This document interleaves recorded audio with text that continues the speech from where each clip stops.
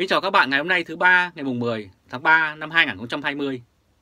Kính mời các bạn xem bản tin Việt Nam đóng cửa, dân lấy gì để ăn. Ban chỉ đạo quốc gia của Việt Nam về phòng chống dịch bệnh virus corona chủng mới do Phó Thủ tướng Vũ Đức Đam đứng đầu hôm mùng 8 tháng 3 đã yêu cầu mọi người Việt Nam thực hiện khai báo sức khỏe từ ngày mùng 10 tháng 3 năm 2020. Đây là hình ảnh Phó Thủ tướng Vũ Đức Đam trưởng ban chỉ đạo quốc gia về phòng chống dịch bệnh viêm đường hô hấp cấp do chủng mới virus corona gây ra. Chỉ thị trên được đưa ra trong bối cảnh ca nhiễm đột ngột tăng trở lại ở Việt Nam. Lên đến con số 34 người, theo thông tin mới nhất từ Bộ Y tế cập nhật đến 18 giờ ngày 10 tháng 3 năm 2020. Và con số này sẽ tăng lên từng giờ. Trong số những người mắc phải virus corona có 12 người là hành khách đi cùng chuyến máy bay với người nhiễm thứ 17.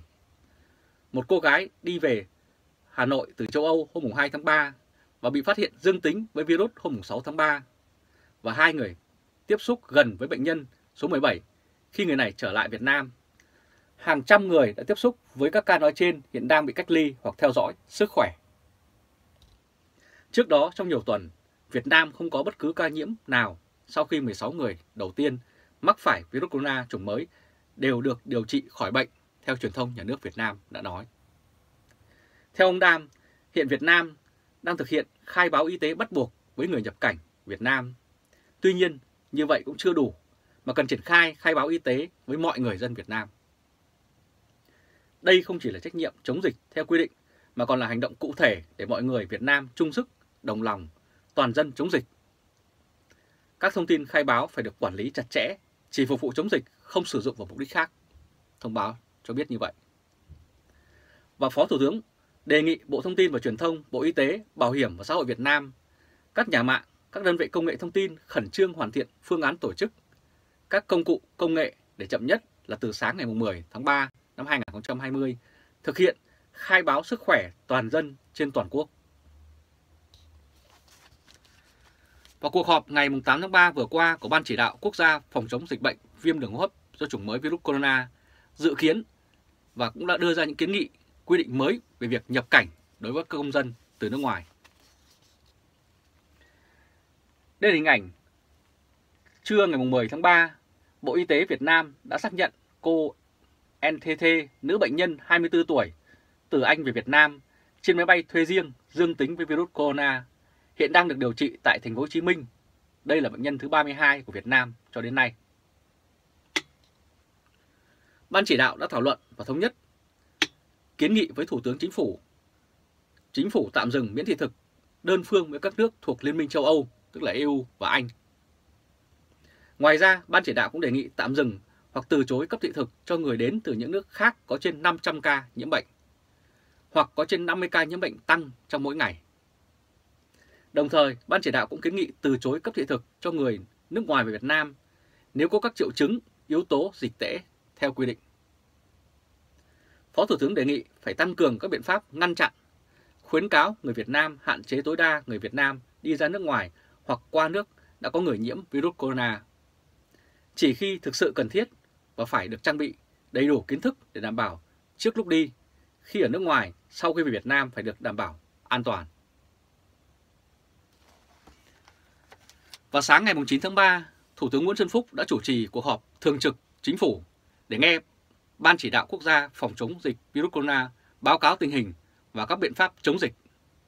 Các kiến nghị của Ban chỉ đạo phòng chống dịch đều được nhận định và đánh giá tiếp theo. Đây là hình ảnh Thủ tướng Nguyễn Xuân Phúc chủ trì cuộc họp thường trực chính phủ để nghe Ban chỉ đạo quốc gia phòng chống dịch virus corona báo cáo tình hình và biện pháp chống dịch vào sáng 9 tháng 3 năm 2020.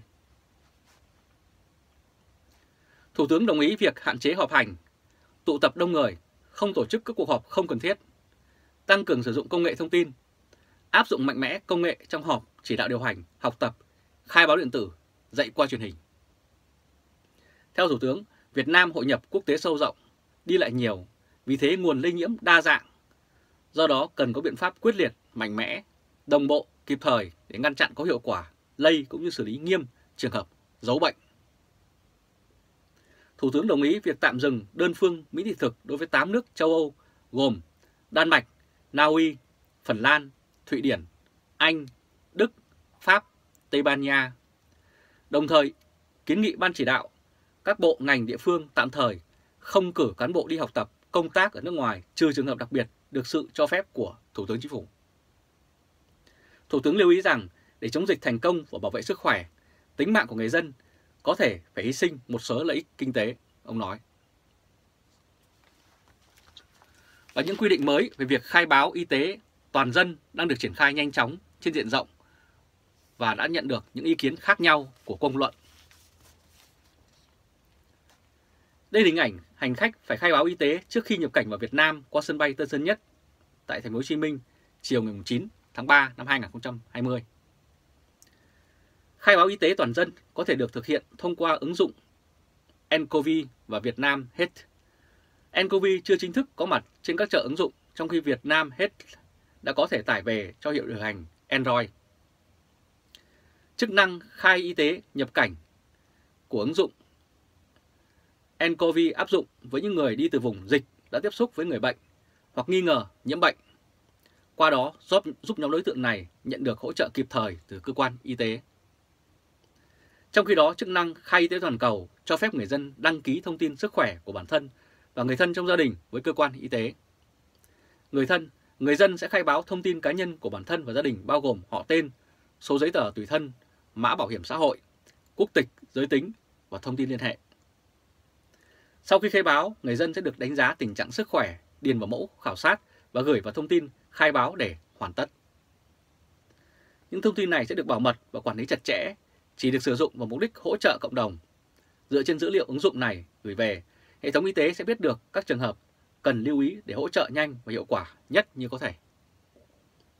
Đối với quy định về khai báo sức khỏe toàn dân, bác sĩ, tiến sĩ Trần Tuấn, một chuyên gia độc lập, thường lên tiếng phản biện về lĩnh vực y tế đưa ra nhận định với Đài tiếng nói Hoa Kỳ rằng việc khai báo sức khỏe bắt buộc sắp diễn ra có thể có sai số rất nhiều.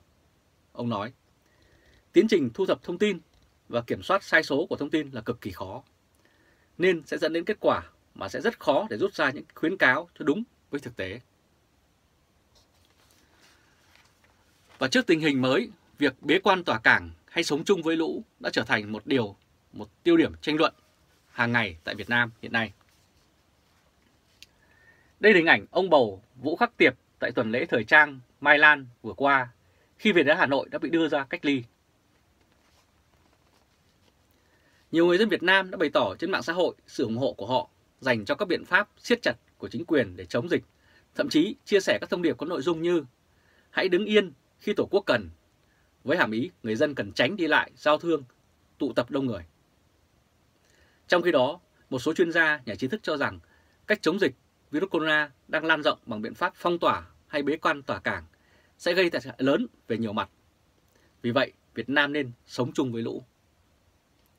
Tiến sĩ Vũ Tú Thành thuộc Hội đồng Kinh tế Hoa Kỳ ASEAN hôm 8 tháng 3 đăng một bài viết dài trên trang cá nhân đề xuất về một chiến lược mới cho Việt Nam đối phó với dịch, được hàng trăm người ủng hộ và chia sẻ. Vị tiến sĩ từng học tập nghiên cứu ở Mỹ nhận định rằng các biện pháp ngăn chặn dịch xâm nhập và ngăn dịch lây lan tỏ ra hiệu quả trong giai đoạn 1. Khi nguy cơ chủ yếu đến từ Trung Quốc, giờ đây không còn phù hợp nữa. Chỉ ra rằng ở giai đoạn 2 hiện nay tình hình đã chuyển biến xấu hơn hẳn. Với thực tế là dịch bệnh đang lan rộng ra toàn cầu và tiến sĩ Thành cảnh báo rằng bế cang quan tạc tòa, tòa cảng sẽ khiến cho nền kinh tế vận hành hoàn toàn dựa vào những gì có thể tích trữ được và có thể tự túc. Nhưng khi nguyên liệu và nguồn lực sẽ sớm cạn kiệt, buộc toàn xã hội phải vận hành ở mức tiêu thụ tối thiểu chỉ để duy trì sự tồn tại. Và bất kỳ một biện pháp cực đoan nào cũng không đem lại kết quả mong muốn tuyệt đối trong giai đoạn hiện nay mà cần có sự phối hợp hài hòa giữa các biện pháp với nhau. Đây là hình ảnh các chốt kiểm soát tại khu phố đã ghi nhận bệnh nhân nhiễm virus corona tại Hà Nội. Hình ảnh được chụp vào ngày 10 tháng 3 năm 2020. Giải pháp tiến sĩ Thành đưa ra là chỉ nên cách ly bảo vệ nhóm rủi ro cao nhất bao gồm người già, người có bệnh nền hoặc cả hai. Và cách ly ngăn chặn chỉ áp dụng với các trường hợp nhiễm. Đồng thời, theo ông Thành, không áp dụng bế quan tả cảng, mà chỉ cần duy trì khai báo và sàng lọc y tế bắt buộc tại cửa khẩu. Đề xuất của tiến sĩ Thành được nhiều người thuộc giới trí thức ủng hộ, gọi đó là giải pháp sống chung với lũ. Trong khi toàn dân nâng cao ý thức phòng dịch thì vừa qua, vụ bệnh nhân số 17 tai tiếng đã vén bức màn lên cuộc sống xa xỉ của tầng lớp đảng viên tinh hoa của Việt Nam. Đi máy bay hạng thương gia ở khách sạn 5 sao, tổ chức tiệc tùng xa đọa. Tiến sĩ toán học Nguyễn Ngọc Chu đã gọi công tác nước ngoài là một hình thức tham nhũng hưởng thụ của các quan chức Cộng sản Việt Nam thời nay. Và cũng trong bối cảnh dịch bệnh hiện nay, hàng triệu người dân đang phải chịu thiệt thòi, cũng như hàng trăm nghìn doanh nghiệp Việt Nam đang đứng trước bờ vực bờ vực phá sản. Đây là hậu quả rất ghê gớm sẽ dẫn đến đói nghèo và virus Vũ Hán đã gây ra cho người nước Việt Nam. Nhưng chính phủ nước này đã không có biện pháp phù hợp để kiểm soát các quan chức cấp cao của mình. Họ tự do ra vào và đem thêm tai họa cho người dân cả nước. Nếu không ngăn chặn kịp thời, thì virus Vũ Hán này cũng sẽ không chừa một ai, kể cả ông Tổng Bí thư Nguyễn Phú Trọng, Thủ tướng Nguyễn Xuân Phúc hay các ủy viên Bộ Chính trị của Việt Nam. Rất cảm ơn các bạn vừa theo dõi chương trình truyền hình trực tiếp của Thời báo.de ngày hôm nay thứ ba ngày 10 tháng 3 năm 2020.